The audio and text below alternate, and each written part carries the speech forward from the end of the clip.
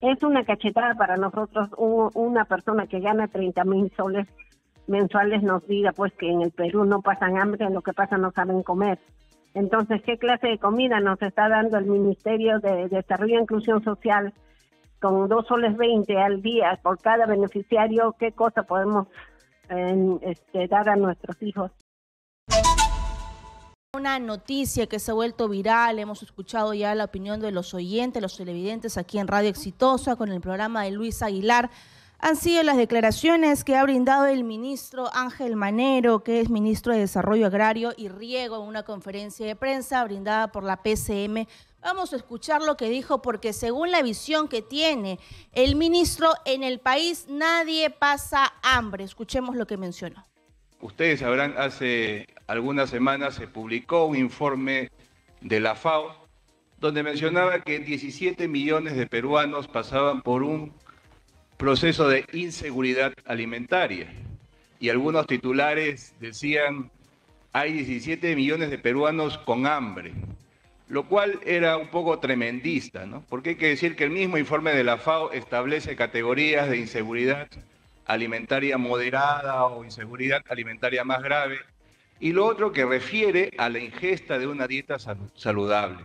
Lo que tenemos que decir allí es que en el Perú no se pasa hambre hasta en el último pueblo del Perú se come de manera contundente.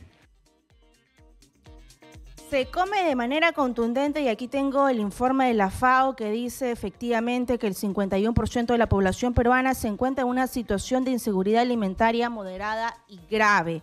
Y Perú es uno de los países de América del Sur, de la región, con mayores retrocesos en el derecho a la alimentación. También habla de los niños. El informe indica que 10 de cada 100 niños en el Perú están por debajo de la talla normal.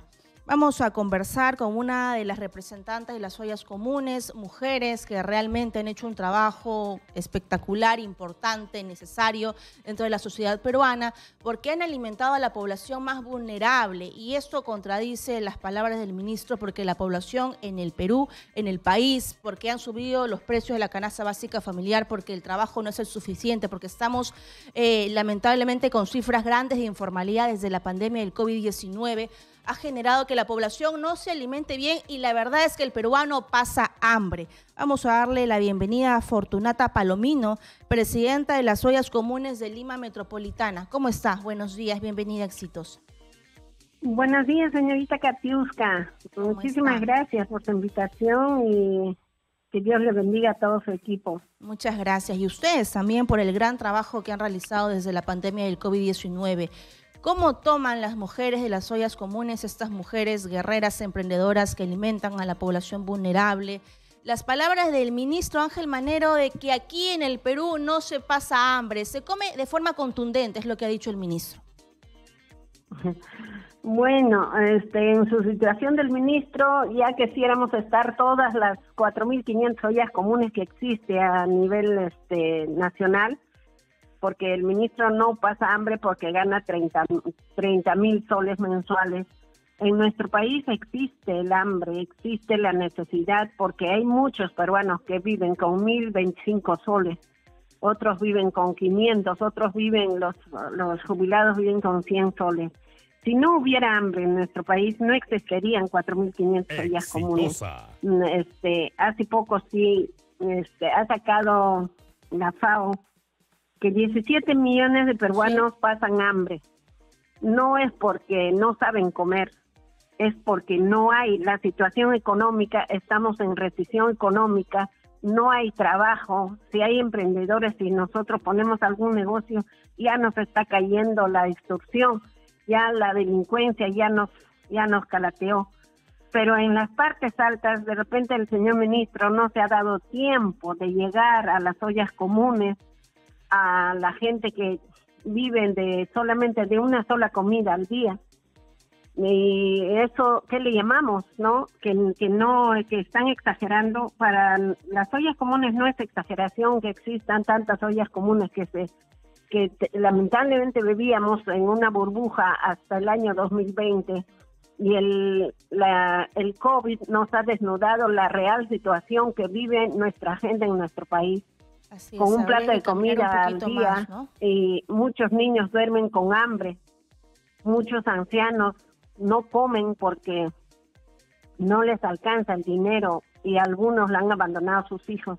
Pero el Estado en sí, ¿qué está haciendo? Es una cachetada para nosotros una persona que gana 30 mil soles mensuales nos diga pues que en el Perú no pasan hambre, lo que pasa no saben comer. Entonces, ¿qué clase de comida nos está dando el Ministerio de Desarrollo e Inclusión Social con dos soles 20 al día por cada beneficiario? ¿Qué cosa podemos este, dar a nuestros hijos, a la familia que solamente viven con un plato de comida? El presupuesto no es se llama hambre. señora Palomino. Eso se llama el presupuesto que se le otorga a las ollas comunes no es el suficiente y habría que caminar un poquito más. No es necesario que el ministro viaje al interior del país. Aquí en Lima Metropolitana tenemos ollas comunes donde podemos ver a mujeres embarazadas, madres solteras, adultos mayores, población vulnerable, que son alimentadas por ustedes. Así es, señorita Karina. Este, y es por eso que nosotros exigimos que nos aumente el presupuesto, que se quiera que se dé un tiempito a leer todas las propuestas que hemos hecho nosotros como organización. No solamente le pedimos que sea pues extender la mano, hemos pedido capacitación, hemos pedido que, que las ollas comunes tengan su propio ingreso económico, hemos solicitado que nos que les capaciten y certifiquen a las mujeres que están en las ollas comunes que están trabajando día a día para que ellas también puedan generar trabajos en comunidad, trabajos en nuestras ollas comunes y con eso educar a nuestros hijos, siquiera comprar las medicinas que necesitamos. Pero sin embargo, eso todavía está muy lejos. Nosotros hemos planteado una agenda política alimentaria con sus 15 acciones, ¿no? Pero sin embargo, todo todo el esquema, todo el documento le hemos entregado al, al señor ministro, también en su época la señora presidenta cuando era ministra pero sin embargo creo que esta agenda política alimentaria está durmiendo en el sueño de los justos porque porque hasta el día de hoy no se ha firmado el convenio con el Ministerio de la Producción, no se ha firmado los acuerdos, los convenios que hemos pedido una mesa de trabajo con todos los ministros para trabajar en la lucha contra la anemia. Y con insumos peruanos, ¿no? Tenemos pesca, tenemos el Ministerio de Agricultura, tenemos los recursos naturales hidrobiológicos para que ustedes puedan tener la mejor alimentación. Ahora, si el peruano no tiene una dieta balanceada, una dieta, una dieta nutritiva, nutricional, no es porque no quiere, es porque no tiene los recursos para. Ustedes tienen acceso a una gran cantidad de, proteínas, por ejemplo, de huevos, de, de frutas, de verduras frescas para poder cocinarle a la población que llega a las ollas comunes? Nosotros hemos planteado todo este tema.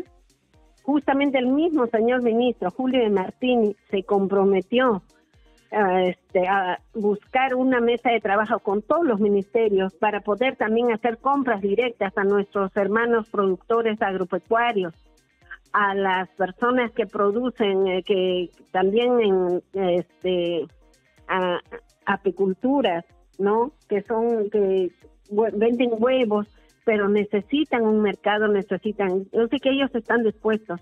Nosotros trabajamos con, con el programa A Comer Pescado. Gracias a que ese programa, el director, señor Fabián de la Puente, se, se conmovió, se puso la mano al, al corazón y nos manda el pescado a, a un precio justo a un precio barato. Nosotros no le pedimos regalado. Si el Estado nos dice van a ir a tal lugar, van a vender a, un precio cómodo, económico, que les va a alcanzar, nosotros compramos. Así compramos los pescados que nos traen directamente de los pescadores artesanales. También compramos, de repente viene a precio dos soles 20, tres soles 20. Eso para nosotros es, es un precio que, nos facilita para que para poder comprar en grandes cantidades y guardar en diferentes casas porque tampoco no contamos con una congeladora o con, homenajes hasta el día de hoy del ministerio no hemos recibido ni una cocina ni una olla ni un cocharón todo lo que tenemos es a, a costilla de nosotros porque nosotros compramos a veces juntamos por los vecinos que tienen, los viejos que tienen, nos, nos donan, con eso cocinamos hasta el día de hoy, señorita Karina. Y muchos de ustedes cocinan a leña, como estamos viendo en las imágenes. Muy pocos tienen una, una cocina a gas, una cocina industrial. Muy pocos tienen una refrigeradora para guardar estos alimentos como el pescado, por ejemplo. Ustedes han sido mencionadas en el mensaje de la presidenta Dina Boluarte. Son parte de este programa de reactivación económica para los siguientes años, 2025-2026. Nosotros eh, a, duras penas hemos conseguido un presupuesto de 144 millones, y ya está terminando, queda solamente 51 millones para acabar el año, pero ese presupuesto es insuficiente para las 4.500 ollas comunes y para el año, para nosotros es muy insuficiente. Planteamos un presupuesto de 224 millones por año, pero ese presupuesto creo que se ha desaparecido debajo de la carpeta porque ni siquiera han tocado para estudiarlo hasta el día de hoy hemos pedido una reunión con el MIDIO que hasta ahora todavía este, no nos han convocado. Hemos pedido también todo el planteamiento, todo el, todo el esquema nuevamente para, para presentar ya con la situación que estamos viviendo, porque anteriormente habíamos presentado uh, un presupuesto con eh, sin contar esta situación que la crisis que estamos viviendo este, en nuestro país y entonces queremos actualizar todo esto, pero ojalá que el señor ministro con su equipo se pudiera sentarse con nosotros. No buscamos pelea, no buscamos enfrentamiento, buscamos soluciones, buscamos también contribuir nosotros con nuestras propuestas y como lo venimos haciendo. El ministerio nos da el 30% y las ollas comunes ponemos el 70% con productos frescos, productos que podemos este, contribuir lo que con nuestros hermanos agricultores también. Ya no hacemos recuperación de alimentos, pero hay mercados que nos deja entrar a recuperar mercados pequeños de ahí recogimos también verduras eh, las lo, para poder este, complementar los ingredientes que tenemos que llevar al estómago de nuestros asociados muchas gracias a nuestra invitada Fortunata Palomino, presidenta de las Ollas Comunes de Lima Metropolitana. Muchas gracias por esta información, por los datos brindados y por la respuesta clara y contundente que se le ha dado al ministro de Desarrollo Agrario y Riego, el señor Ángel Manero.